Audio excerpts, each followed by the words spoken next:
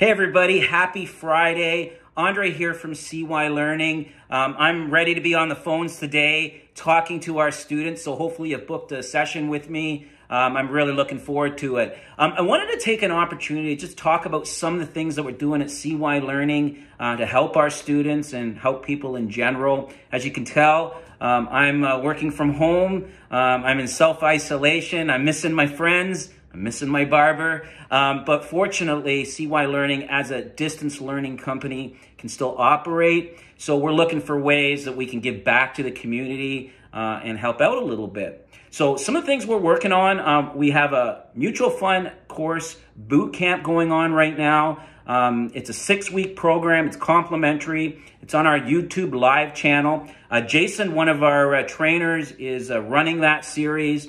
Uh, and it's open to anybody that just wants to hop on and hear Jason teach a little bit about the course. And uh, they also have the opportunity to ask questions that he'll also take up. So if you've missed the first few sessions, that's okay. Um, we've recorded uh, big uh, sections of those uh, uh free webinars, and that's on our YouTube channel. Um, but if you want to participate, make sure you're there Mondays at 3 o'clock live, and uh, I'm sure you're going to get a lot out of it.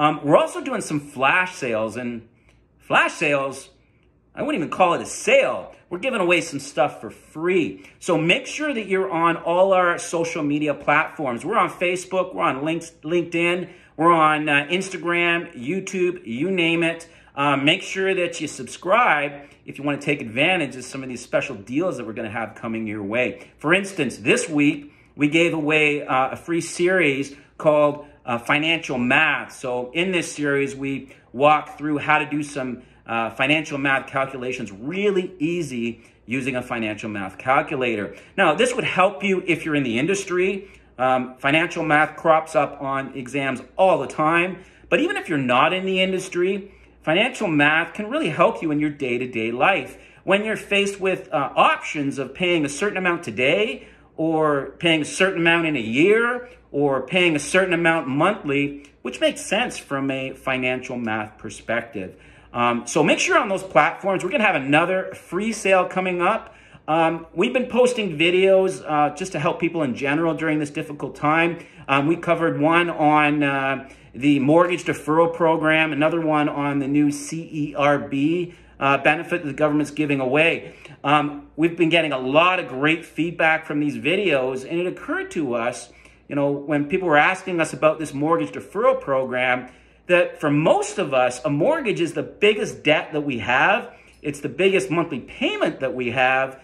Yet, a lot of us don't really know how mortgages work, how you qualify, what's the difference between a term, amortization, that kind of thing. So be sure to check us out. And I look forward to talking to students today that have booked a session with me. If you haven't done so, go over to seewhylearning.com uh, forward slash bootcamp, learn about that program, and I'll talk to you guys soon.